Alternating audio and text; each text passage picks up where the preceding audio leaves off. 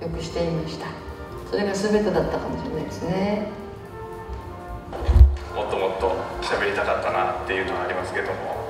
木内監督のぼやきから植え付けられたものなんていうものは。まあ僕の中ではまだまだ元気に、えー、生き続けていますので。いろいろ上層学院さんとかとも調整させていただいて、まあ、今日を迎えたという。